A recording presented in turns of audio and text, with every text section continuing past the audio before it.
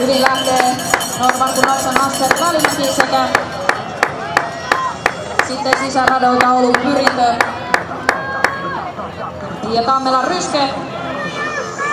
Tullaan ensimmäiseen vaihtoon.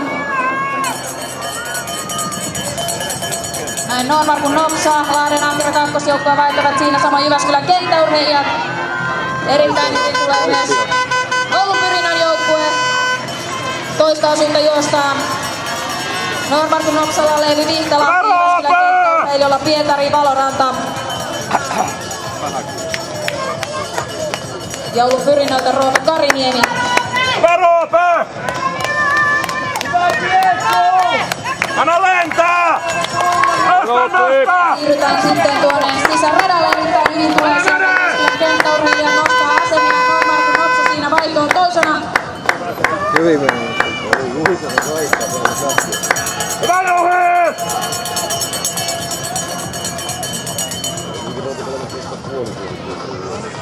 Ja kohtaa sieltä sitten kolmatta osuutta tähän etusuoralle. Kärjessä Oulun pyrintö, sitten Jyväskylän kenttäurheilija Normarkku Nopsa kolmantena. Lahden Ankaran kakkosjoukkue. Ja sitten Tammelan Ryske. Hyvä Juhi! Sitten vielä Helsing- Helsingfors IFK kakkosjoukkue ja Vaasa IS. Ja näin sieltä lähdetään sitten ankkurit matkaan. Hyvä Samuel! Pyrinnöllä Samuel Purrala Jyväskylän kenttäurheilijoilla. Daniel Savolainen Normarkun Nopsalla. Santeri Välimäki. Ja Lahden Ahkera aloittaa kovan nousun sieltä Leena Kallio.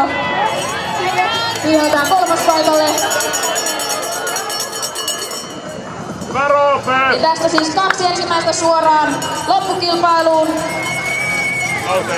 Loppuun asti kannattaa juosta vielä,